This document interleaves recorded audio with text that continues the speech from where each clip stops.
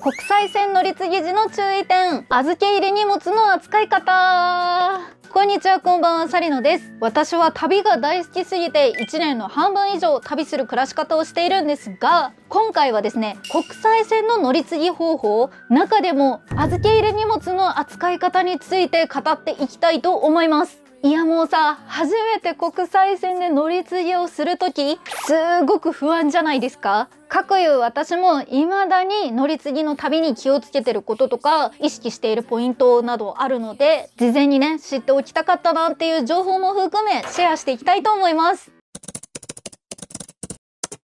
早速ですが国際線の乗り継ぎ便3つの種類に分けることができると思います。1つ目が connecting flight。こちらは A、B、C とフライトが続くとしても全て同じ航空会社が運営しているというものです。 connecting flight の場合、だいたいスルーチェックインサービスというものを受けることができて、乗り継ぎ時に自分で荷物を預け直したり受け取ったりする必要がなくなります。スルーチェックインサービスというのは出発する空港で最終目的地までの複数区間の搭乗手続きを一括して行っってくれるというものです。初めて乗り継ぎ便を使うっていう方はこのスルーチェックインサービスがあるフライトを利用できたらまあ一番安心ですよね。利用する乗り継ぎ便にこのスルーチェックインサービスがあるかどうかは予約時に確認をすることができます。2つ目がコードシェア便こちらは共同運行便とも言います。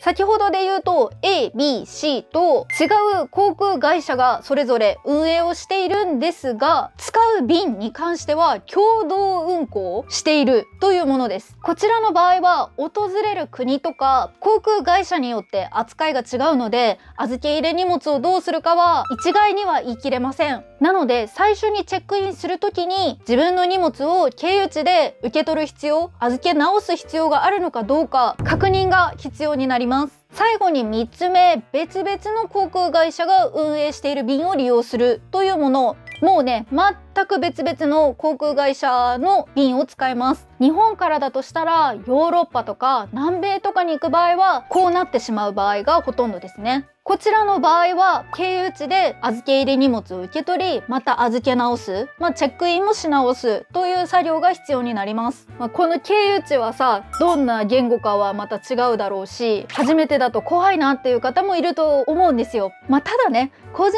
的な経験からするとあの空港カウンターで話すことって大差ないのよ どこに行くんだとか何時までに保安検査よろしくみたいな、まあ、決まった話をするんですよね。なので自分が予約した航空券の画面をスマホか何かに表示して持ってガラガラキャリーケースを引いてカウンターに行ったら、まあ、向こうはプロなので大丈夫です。なんとかなります。とはいえ注意しておきたい部分もあるので注意点についてお話をしていきます。まずは予約前の注意点です。一つ目は乗り継ぎ時間に余裕があるかどうか。いやもうこれは本当に大事です。コネクティングフライトの場合はそのね乗り継ぎ時間も考えられて設定されていることの方が多いと思うし万が一1つ目とか2つ目が遅延したりしても3つ目でなんとかちょっと余っててくれたりとかするケースも結構あったりする印象ではあるんですけど、まあ、待っててくれるとかはなくても保証してくれたりとかね。なんですけど別々の航空会社を自分で勝手に予約して、まあ、目的地まで行こうとする場合って例えば乗り継ぎの空港が一緒だったとしてもだいぶ距離が離れていてかなり歩かなきゃいけなかったりとかターミナルが違ったとかそもそも同じ国だけど空港を移動しなきゃいけなかったとか、まあ、日本で言ったら成田と羽田を移動しなきゃいけなかったみたいな話ですよね。があったりするので乗り継ぎ時間が現実的な範囲かっていうのを確認した方がいいと思います。特にね預け入れ荷物を受け取ってまた預け直すっていう作業がある場合は慣れない言語だと思いのほか時間がかかることもあるので余裕を持ったスケジュールかどうか確認しておきましょう。2つ目トランジットビザが必要かどうか。乗り継ぎの国で荷物の受け取りと再度の預け入れが必要な場合というかそもそも次に乗る便の搭乗手続きが必要な場合は一度入国してもう一回出国するっていう手続きを踏むことになるんですね。それがたとえ2時間とか3時間ぐらいの滞在しかなくてもその間の国に入国するっていうのが必要になるんですよ。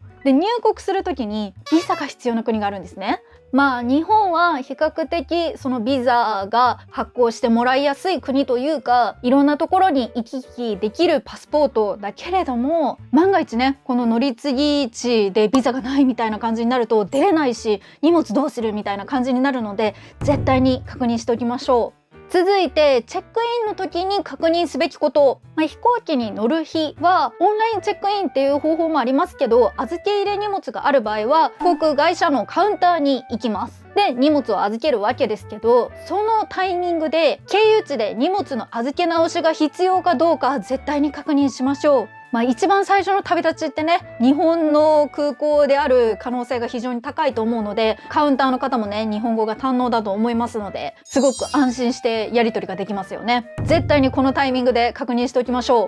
う。2つ目バゲージクレームタグの行き先を確認しましょう。バゲージクレームタグというのはその預ける荷物にくるくるって巻いてペッてくっつけてくれるあの紙のことです。これにはねその荷物がどこまで運ばれるのかっていうのが書かれてます。これを一応ね確認しておくと安心です。そしてそしていろいろ語ってきましたが万が一荷物が出てこなかった場合いやーもう考えたくもないですけどロストバゲージってやつですね。荷物が行方不明になったと。そうなってしまったらまずは一旦落ち着いて航空会社のカウンターに行きましょう。でスタッフさんに荷物がないんですけどっていうのを伝えるしかありません。そうすると手荷物紛失報告作成書というのをもらえるので保険会社に連絡をします。いやもう海外保険に関しては別の動画で語ってるんですけどいや大事よ海外保険ね。で入っていた保険がロストバリエージの被害を保証してくれる特約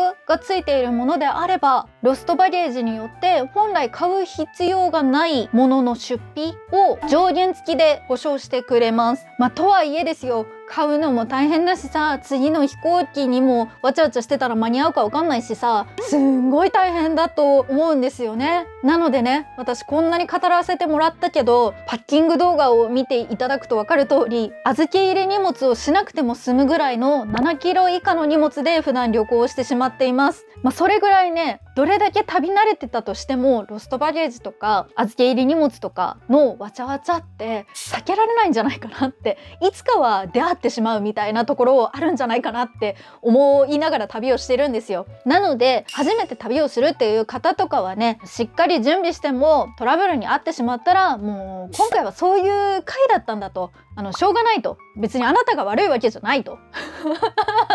そう思って冷静にね対応してったら絶対大丈夫なのでしっかり準備しつつでも不安になりすぎず楽しく旅行ができたらいいんじゃないかなと思いながらお話をしました。